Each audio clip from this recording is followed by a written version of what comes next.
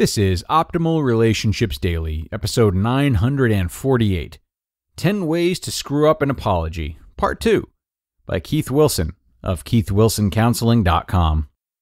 Hello, everybody, and welcome back to ORD. I am your host, Greg Audino, and today I will be finishing up yesterday's post that we started about apologizing the right way. Now, surely none of us are bad at apologizing, but just in case you want to, um, teach others what to do, go ahead and listen to yesterday's episode if you haven't already. But if you have and you're ready to keep learning, we will get started now and continue optimizing your life. 10 Ways to Screw Up an Apology, Part 2, by Keith Wilson of keithwilsoncounseling.com. Number 6. You don't answer questions. Your apology is not over when you've delivered your statement of responsibility. You need to stay for questions. Answering questions ensures that you haven't missed anything or been too vague. It also shows that you're willing to stand under scrutiny. Depending on the nature of your transgression, you may be tempted to say to him, You don't want to know. This happens often in the confession of an affair when the cuckolded spouse thinks he wants details. You might very sincerely want to protect your partner from the knowledge of where and when and how you had an affair with that other man. You know he's not going to want to have that image in his head. There's also the matter of what he's going to do with that information. Once he knows who you've been sleeping with, is that person going to be safe? At times like this, when you don't believe your partner is asking the right questions, you as a couple need help. There's no good way out of this jam by yourselves. If you fail to answer the questions as asked, no matter how ill considered, it's going to look like you have something to hide. If you do answer them, you may just have hurt him more. You may not be able to complete your confession just then. This is the time to enlist someone objective whom you both can trust. This person can help your partner frame his questions in such a way to help him move on.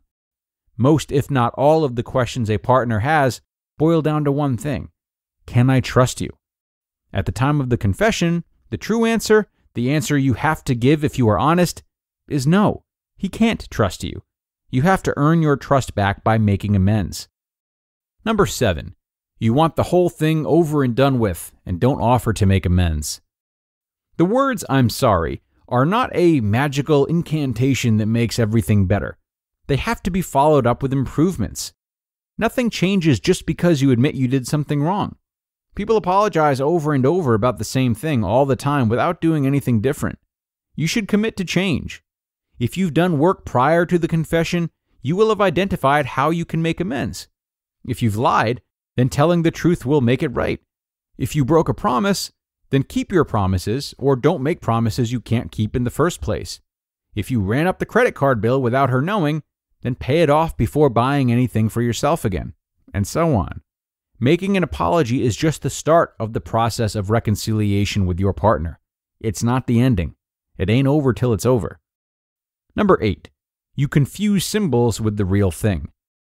Sometimes when a contrite husband brings his wife flowers to apologize for something, she gets angry and throws them in the trash. That's what happens when the symbol of the apology and the real thing get confused. The real part of the apology is the acknowledgement of the deed its effects, and the way to make amends. The flowers serve as a reminder of the commitment to change. When you've done the actual work and made a true apology, the flowers don't get thrown in the trash. When you make the flowers do the work for you, it looks like you're trying to buy her off. Number 9. You don't listen. After you've admitted wrongdoing, the person you hurt may have something to say. He may have questions. He might want to point out how your actions impacted him. You may have missed something. He might have something else in mind about how you can make amends. Maybe he has something he needs to get off his chest. Who knows? He may have a confession of his own to make. After you've made your apology, listen. Listening, by the way, involves attending to more than just the words he says. You also have to pay attention to the way he says them. Note his body language, emotion, and inflection. This is impossible to do if you're confessing by mail or text. After you listen, Summarize what he said in your own words. This lets him know it's sunk in so he doesn't have to keep saying it. If you get it wrong when you summarize, he'll let you know. This is important. Maybe you didn't hear him right. This could be a case of chronic miscommunication. If he does correct you, then summarize that until you have heard it correctly. Try doing that by mail or text, and the confession could take weeks. Number 10. You don't document. After you've acknowledged the misdeed, its effects, and the way to make amends, write it all down so no one forgets. Date it and make yourself a reminder to pull it out and go over later. Then you'll see if you followed through with making amends. If you have, that might be the time to ask forgiveness. If you haven't, then you have another apology to make and a whole lot more work to do. You may not feel you need to do all of this if the misdeed is minor, like if you ate the last donut one morning. But if you're always eating the last donut, or if there is a pervasive pattern of selfish and inconsiderate behavior, and eating the last donut is only one example, then the full treatment is necessary. The more pervasive the pattern of misbehavior, the harder it's going to be to change. You're going to need all the help you can get. Make your apology and do it right, and you'll be less likely to need to do it again. You just listened to part two of the post titled 10 Ways to Screw Up an Apology by Keith Wilson of keithwilsoncounseling.com. And a great back half of this post by Keith, no surprise there. He's really offered a lot of specific parts of an apology here that I think even the most sincere of us may have forgotten to consider. Just me, maybe. Uh, so there's not much more to add here in terms of instruction and crafting an honest apology.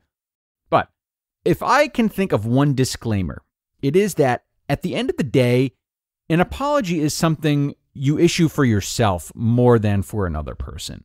While we do offer sincere apologies to others in an effort to show them our love and let them know that we are truly sorry for betraying them, this act is still, it, it's not transactional, is what I mean.